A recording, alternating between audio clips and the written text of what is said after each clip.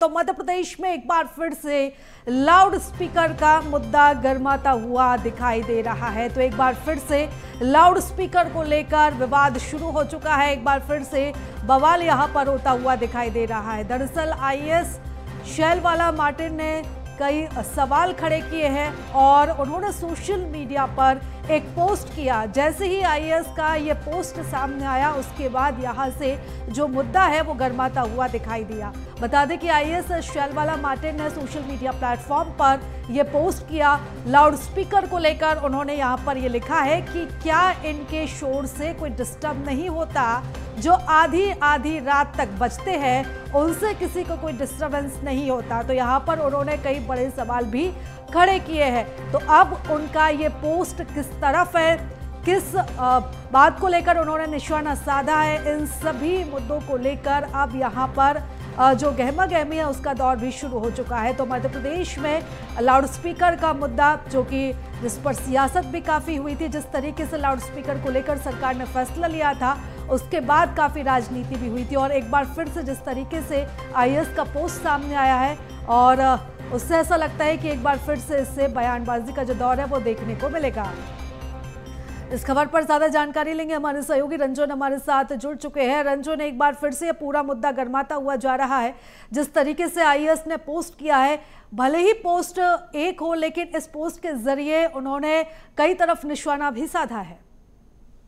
निश्चित तौर पर देखिए तो आई एस सेलबाला मार्टिन ने सोशल मीडिया पर जिस तरीके से पोस्ट किया है कि लाउड स्पीकर को लेकर के, क्योंकि आधी रात में भी कई जगहों पर जो है मंदिरों में जो है लाउड स्पीकर बजाए जाते हैं तो ऐसे में जो आसपास के लोग हैं उनको परेशानी हो सकती है। इसलिए जो है उन्होंने इस मुद्दे को उठाया कि आधी रात को भी जो मंदिर और मस्जिदों में जो लाउड स्पीकर बजते हैं, उससे जो है आम लोगों को परेशानी होती है।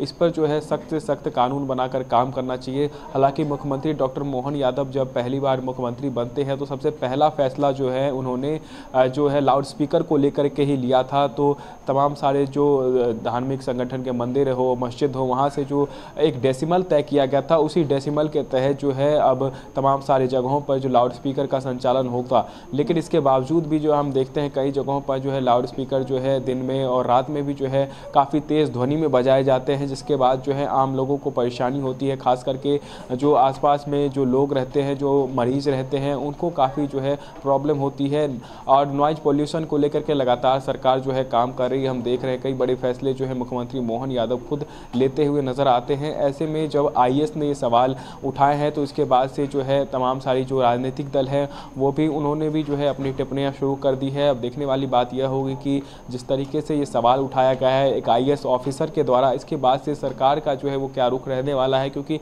मुख्यमंत्री मोहन यादव पहले से जो है लाउड स्पीकर को लेकर के कई सारे सारी जगहों पर उन्होंने प्रतिबंध भी लगा दिया है। तो ऐसे में जब अब आई का सवाल सामने आया है तो अब देखने वाली बात होगी कि सरकार इस पर क्या एक्शन लेती है। बिल्कुल, और अब देखने वाली बात होगी कि क्या कुछ एक्शन लिए जाते हैं और कितना आगे तक ये मुद्दा जाता है। फ़िलहाल नज़र बनाए रखिएगा, आपसे अपडेट्स लेते रहेंगे। रंजन, फ़िलहाल बहुत धन्यवाद तमाम जानकारी के लिए।